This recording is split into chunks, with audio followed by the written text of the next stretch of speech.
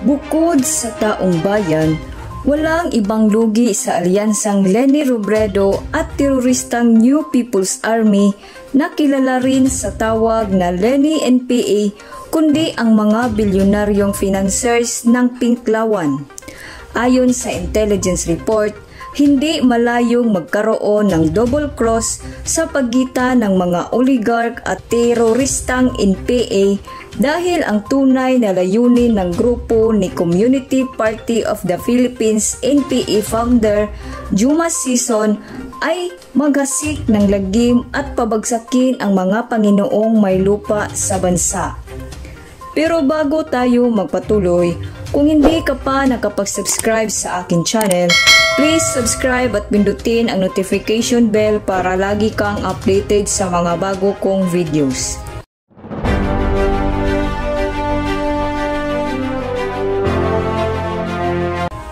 Mapapansin, well-funded ngayon ang campaign rally ni Lenny bunsod ng todo buhos na financial support na nagmumula mismo sa mga oligarch na ayaw makabalik sa pwesto ang pamilya ni Presidential frontrunner Ferdinand Bongbong Marcos Jr. Sa nakalipas na linggo, ang mga pink ay nagkaroon ng kahangahangang pagpapakita ng pagpupundo. Napakaraming pink t-shirts at stuff, hakot funds, assorted giveaways, large stage, and sound system streamers, bus and car stickers, plus pink lanterns. Lahat ng mga plus star na ito mula sa wala ng ABS-CBN. Maraming oligarko ang nagpupundo sa kampanya ni Lenny na sinasaktan ng Administrasyong Duterte at Administrasyong Marcos noon, sabi pa. Ang masaklap, habang sulit ang ibinibigay sa suporta ng mga oligark, Sagrado rin ang alyansa ni Robredo sa mga teroristang NPA.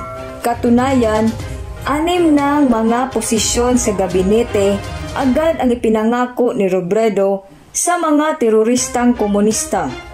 Ang mga ito ay Department of Social Welfare and Development, Department of Labor and Employment, Department of Trade and Industry, Department of the Interior and Local Government at Department of Agriculture.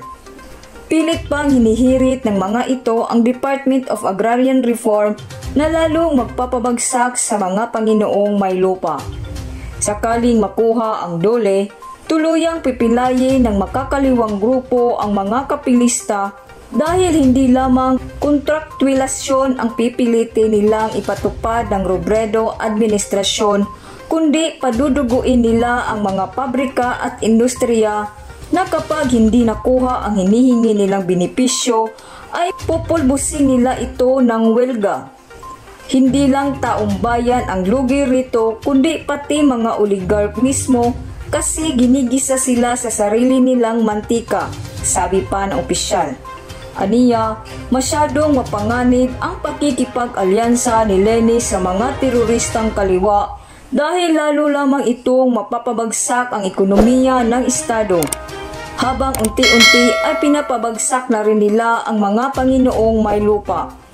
Kung matatandaan, nang maupo sa Malacanang noong 1986 si Cory Aquino, ay pinakawala nito ang lahat ng mga detenidong politikal.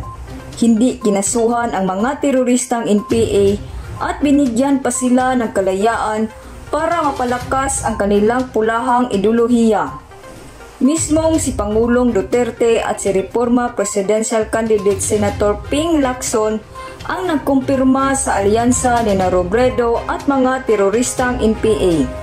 Sinabi ni Duterte na may plano ring guluhin ng Leni NPA Coalition ang inaabangang May 9 national and local elections nang isinusulat ito ay walang malinaw na denial o pahayag si Robredo tungkol sa pakikipag-alyansa nito sa rebeldeng komunista.